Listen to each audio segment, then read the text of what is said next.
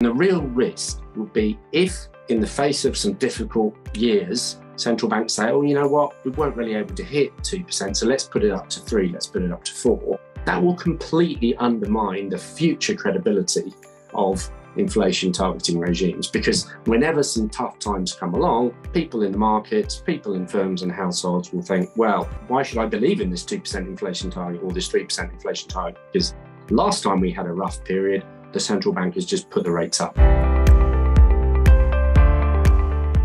Today I'm joined by Peter Westaway, former chief economist at Vanguard and policy advisor at the Bank of England, and author of European Market Narratives, a monthly research series published by Hedder. Peter, welcome. Thanks very much, Brittany. So, today I want to speak with you about central bank strategy, specifically in times of high inflation, Central banks have slightly different definitions of inflation targets. Does it make any difference which they use?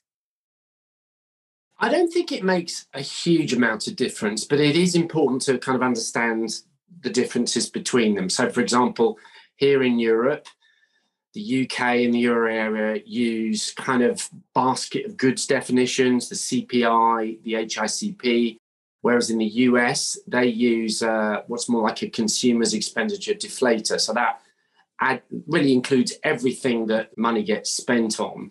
Now, you might think that comprehensive measure would be the obvious thing to use, but the trouble is, maybe for credibility reasons, it's better to focus on the things that the average person spends their money on. So these CPI, HICP measures tend to just focus on that. But otherwise, they're very similar. And what about core measures of inflation versus headline measures, which include effects of commodity prices, you know, exchange rates? How does that difference come into play?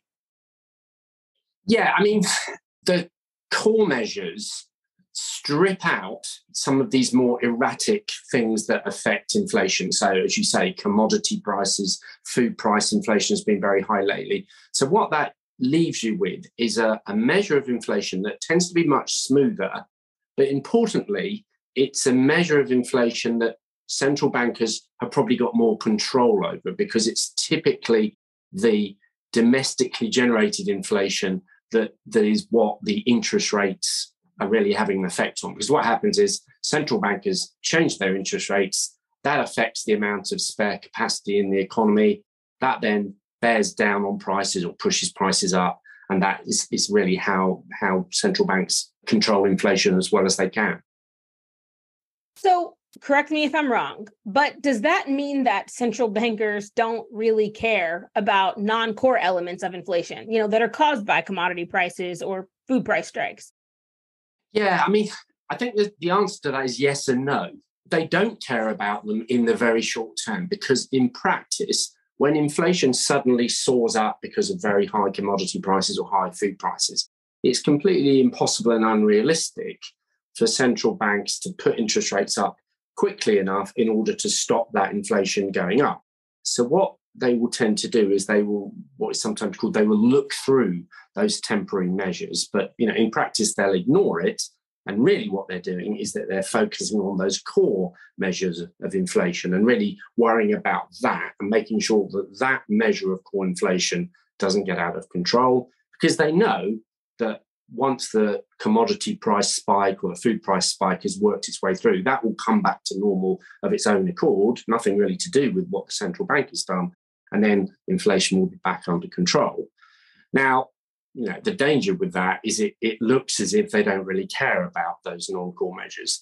They do but you know the risk is that if the headline measure gets too high above core that will start to affect pricing behavior by companies. It'll start to affect wage setting behavior by wage earners and so on. And what could happen is that that, that temporary blip in non-core inflation might end up feeding through into more you know core measures. That's the thing that central banks are really worried about. One of the things that central bankers worry about are second round effects which i think you're hitting on. Can you explain what those are and why it tends to be a cause for concern? Yeah well second round effects are really important because if firms and households start to believe that inflation is no longer averaging, say, 2%, but it's starting to get up to 4%, 5%, and that that number is now the new norm, what that means is that their medium term inflation expectations will drift up, and that will then start to become the normal level of inflation. So that's the thing that central banks are really terrified of. And so they maybe err on the side of being more hawkish, more aggressive with their interest rates to really send a strong signal that those second round effects are not allowed to feed through into inflation and that inflation has to stay at its normal targeted level. And look, inflation has been falling, but does this mean that you're now expecting it to fall even further from here and that interest rates will also start to be cut again? Yeah, I mean, broadly, I, I do think that. I mean, it partly depends on which countries we're focusing on. Certainly, inflation is falling back pretty much everywhere now because the impact of high commodities, high food prices is starting to come out of the inflation numbers. And remember, commodity prices and food prices don't have to go back to where they originally were. They just have to stop rising. Even if they just stop rising, inflation will come back down because inflation is a rate of change, not a level. That's really important. But once they do, as far as interest rates are concerned, what we're going to start seeing is it will no longer be necessary for central bankers to start putting rates up and they would be able to pause and maybe start bringing them down again. Now, what we're seeing in the US, I mean, in a few hours' time on the day that we're recording, we're almost certain to see the Fed putting up interest rates by 25 basis points. I think that's probably enough. That's probably enough for them. They'll be they'll be done. The messages coming out of the European Central Bank and the Bank of England is that they want to be a little bit more aggressive, a little bit more hawkish, because they're a lot more worried about those so-called second round effects that I was talking about.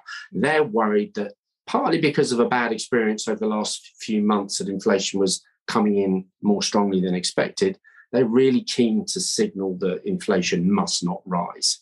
In fact, I think on the basis of the last inflation number we saw, inflation's now starting to come in a little bit softer than people were expecting. And this is actually what I've been saying for some time.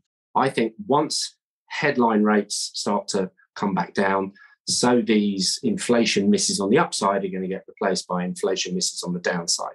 So I think what we're going to see is gradually market expectations of interest rates probably going to start getting a little bit softer and we're going to see central banks cutting interest rates back from these these high levels that they've reached with everything that you're saying you know i'll be even more forthright you know these banks are are not hitting the targets that they're setting does this undermine credibility? You know should definitions or values change so that they can hit them in the future? Mm-hmm. I think that's a really good question and i don't think there's any doubt that the credibility of central banks has been hit. You know it's, it's not surprising. Month after month we've seen inflation getting further and further away from the 2% inflation target. So of course financial market participants members of the public are thinking what are these central bankers doing that's a little bit unfair, but I think it's definitely happening. So, what might happen is that the particular definition of inflation that's being targeted might get changed. So, for example, they could start focusing more on core inflation.